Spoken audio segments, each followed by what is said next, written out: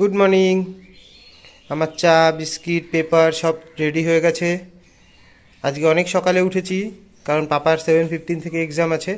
ও just বসল এক্সামের রুমে আর আমি বিস্কিট চা খেয়ে চলে যাব জিমে এই যে পাপা সব রেডি করছে। নাম ঠাম লিখছে। এক্সাম শুরু হয়ে যাবে এক্ষুনি দশ মিনিট পরে। জিম থেকে বেরিয়ে একটু সেন্টারে গেছিলাম, সেন্টার থেকে আমি চলে এসেছি মাটিগাড়া, প্রতিরামে। তো ওই যে টি গার্ডেন এরিয়াটা যেটা আমি অনেকবার দেখিয়েছি। তো আমি একটু যাব হিমাচল বিহারে, ডক্টর সরকারের বাড়িতে।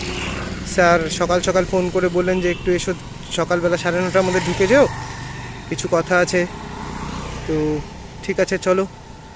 যাই হিমাচল বিহারে। আমি চলে এসেছি হিমাচল বিহারে। যারা জানো না, তারা তাদের জন্য বলি। এটা হচ্ছে চিরাং নার্সিংয়ের পিছনে একটা টাউনশিপ সুন্দর, খুবই সুন্দর এবং খুব শান্ত। এর ভিতর দিয়ে আমি যাব ডক্টর সরকারের বাড়িতে। সামনেই ডক্টর সরকারের বাড়ি। লেফট সাইডে একটু গিয়ে লেফট সাইডে গেলেই ডক্টর সরকারের বাড়ি। এই স্যারের বাড়ি চলে এসেছি। তো যাই দেখি ভেতরে। এখন আমি করে নেব ব্রেকফাস্ট রুটি আর কোয়াশের তরকারি, সাথে আছে ব্ল্যাক কফি পাপার এক্সাম শেষ হয়ে গেছে, ওই জন্য পাপা এদিক ওদিক ঘোরাঘুরি করছে। মনাও রান্নাঘরে বিজি তো সকাল থেকে অনেক দৌড়াদৌড়ি হলো। এরপর স্নান করে গিয়ে সেন্টারে বসবো। আজকে রণজিত নেই, নবীনের একা একা প্রেশার পড়ে যাবে অনেক।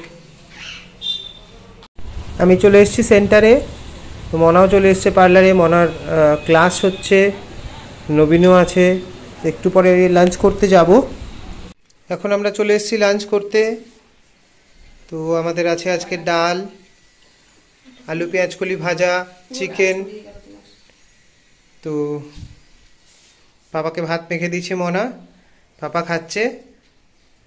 আর আমাদেরও খুব খিদে পেয়েছে অলরেডি সাড়ে তিনটে বাজে, আজকে অনেক দেরি হয়ে গেছে। তো বেশি কথা না বলে এখন খাওয়া দাওয়া শুরু করব। একটু জলপাই মোড়ে এসেছি। একটা বাসে স্যাম্পেল নেব বলে। তো এই যে এখানে hotel the imperial inn hotel and banquet Jalpai মোড়ের নতুন হোটেল। ও সামনেটায় দাঁড়িয়েছি, বাসটা আসবে এক্ষুনি। তো ওয়েট করছি। আমার একটা জিনিস নিতে হবে প্লাস একটা জিনিস দিতেও হবে। তো ঠিক আছে, পরে সেন্টারে গিয়ে আবার কথা বলছি। এখনই আমি সেন্টার থেকে আসলাম।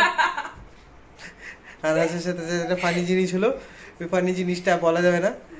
খুব লজ্জাজনক ব্যাপার। যাই হোক তো এই যে পাপাও চলে এসছে টিউশন থেকে।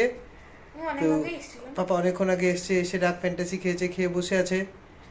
তো আমিও আসলাম মনা এখনও আসেনি। মনা গেছে একটু পাশের বাড়িতে মামির ওখানে। এই জায়গাটা কেমন করছে জ্বালা করছে। হ্যাঁ তো ঠিক আছে। আমি দেখি মনা আসুক তারপরে কি প্ল্যান হয় কিছু খাওয়া দাওয়া হয় নাকি? আর এদিকে মাম্মা কুটকুট করে খাচ্ছে। মামা কুটকুট করে খাচ্ছে। তো ঠিক আছে। মামা খাওয়া দাওয়া করুক আমরা একটু বসি রেস্ট নিই। অনেকদিন ভালো মতো রেস্ট নেওয়া হয় না বাড়িতে বসে বসে।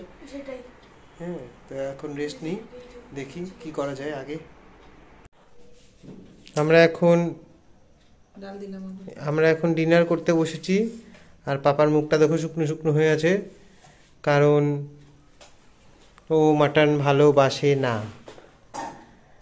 তো যাই হোক, আমরা এখন খাব মাটন, আমি আর মনা।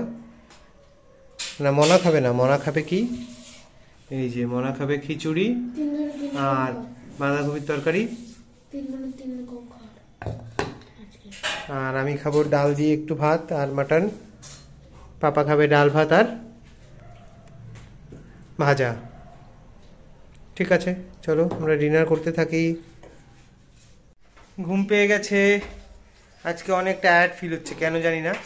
সকাল থেকে অনেক দৌড়াদৌড়ি হচ্ছে অনেক সকালে উঠেছি। আর পাপা এখন লম্বা লিস্ট দিয়েছে মনাকে কি কি খাবে। নেক্সট উইকে এক্সাম শেষ হওয়ার পরে সেগুলোর। তার মধ্যে আছে পাস্তা আর কি? পাস্তা। পাওভাজি তন্দুরি স্টাইল পনির। আর কি? আর কি জানি পাপা? White sauce pasta white sauce pasta paneer butter masala paneer butter masala with naan tandoori style paneer মানে পাও ভাজি যা খুশি তাই। এগুলো রিপ্লেসমেন্ট হয়ে যাবে ওটস ডালিয়া, এগুলো দিয়ে। চিন্তা করার কিছু নেই। এত আনহেলদি খাবার খেয়ে খেয়ে যোগা করে করে কোনো কিছু করা যাবে না। তো ঠিক আছে, চলো। পাপা, চলো শুতে যাব। অনেক রাত হয়ে গেছে, অনেক রাত হয়নি, দশটা বাজে। এই যে। দশটা বাজে, কিন্তু খুব ঘুম পেয়ে গেছে, খুব টায়ার্ড আমরা তিনজনেই। তো আজকে তাড়াতাড়ি শুয়ে পড়ব, কালকে মঙ্গলবার, কালকে আবার হনুমান মন্দির যেতে হবে। সকাল থেকে আবার দৌড়াদৌড়ি, ছোটাছুটি, কালকেও রণজিৎ আসবে না। তো ওই জন্য আজকে তাড়াতাড়ি গুড নাইট টাটা বাই করে আমার ব্লগটা শেষ করলাম।